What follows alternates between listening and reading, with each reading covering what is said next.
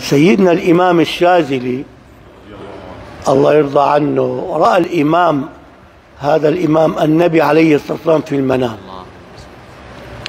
فسأله سؤالا. قال يا رسول الله الله يصلي عشر صلوات على من يصلي على النبي مرة واحدة غافلا أم حاضر القلب؟ يعني ماسك مصباحته هو ماشي عم يصلي على النبي. عم يتفرج على التلفزيون هو عم يصلي على النبي. قاعد بمجلس هو عم يصلي على النبي.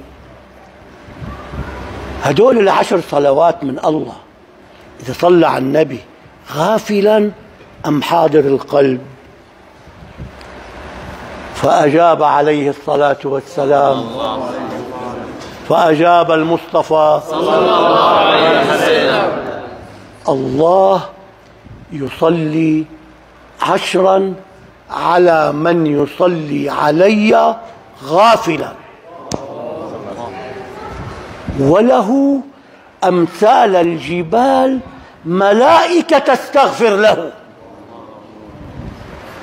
وأما من صلى علي حاضر القلب فلا يعلم ثوابها إلا الله.